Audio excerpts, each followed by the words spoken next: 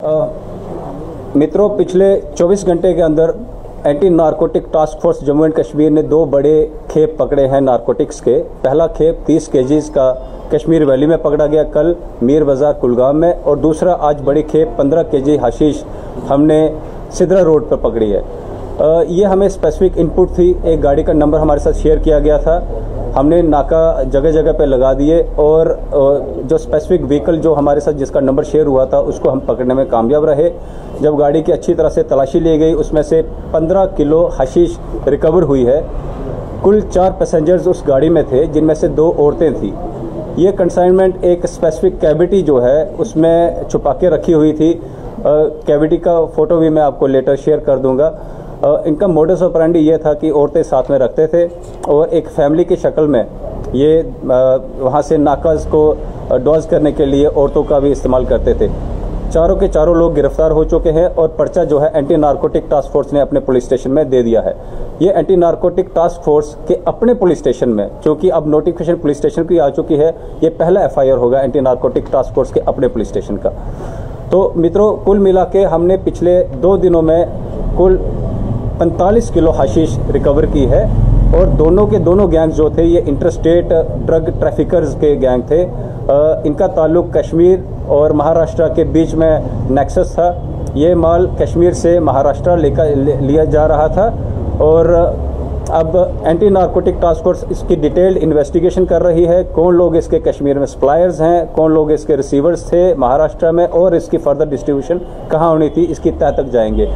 चूँकि दोनों information public के द्वारा हमारे साथ शेयर किए गए थी और हमारे एक्शन के बदौलत हमने दोनों केसेस में रिकवरीज की हैं। ये कामयाबी का शेयर ना केवल एंटी नारकोटिक टास्क फोर्स को जाता है, आम जनता को जिन्होंने हमारे से इन्फॉर्मेशन शेयर की उनको भी जाता है। आपके माध्यम से मैं एक बार फिर से अपील और निवेदन करना चाहूँगा आम जनता को, इसी तरह से हमें इन्फॉर्मेशन देते रहें ताकि हम सब मिलके साथ मिलके इस मिनान्स का जल्दी से जल्दी सफ़ाई कर सकें। हशीश की इंटरनेशनल वैल्यू चार से पाँच लाख पर केजी होती है।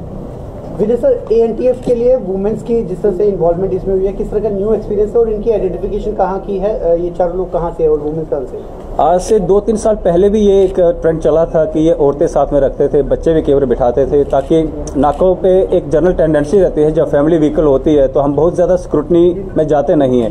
एक जनरल बेल आउट मिलता है लोगों को कि औरतें हैं बच्चे हैं इनको बहुत ज़्यादा परेशानी में नाकों पे परेशानी का सामना ना करना पड़े। उस तरह की एक जनरल टेंडेंसी रहती है उसकी ही एडवांटेज लेने की कोशिश है इस मोडस ऑपरांडी में दिखी। आइडेंटिफिकेशन डिस्क्लोज हाँ मैं आपको नाम चारों के बता दूँगा। जो गिरफ़्तार आज जो पंद्रह के के साथ जो गिरफ़्तार उनके चारों के नाम है दीपक है सन ऑफ़ केशव सिंह ये उत्तर प्रदेश आगरा का रहने वाला है। दूसरा गिरीश है सन ऑफ़ पूरण चंद ये जयपुर राजस्थान का। बेसिकली आगरा का है लेकिन सेटल अभी जयपुर में है। इनके साथ दो औरतें हैं एक तमन्ना है जो उत्तर प्रदेश की रहने वाली है और दूसरी असीन लता है, जो कहती है कि मैं गिरीश की बीवी हूँ, इसकी वेरिफिकेशन हो रही है और ये भी जयपुर के रहने वाले। बेसिकली आगरा के हैं, लेकिन अभी फ़िलहाल जयपुर में सेटल है।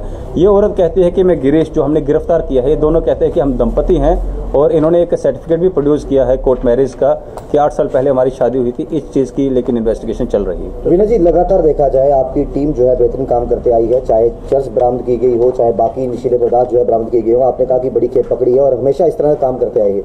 आप ये चीज़ मानते हो कि पिछले तीन चार सालों की बात करें तो यहाँ के जो युवा हैं, वो नशे की तरफ़ ज़्यादा इंडल्ज हो रहे हैं और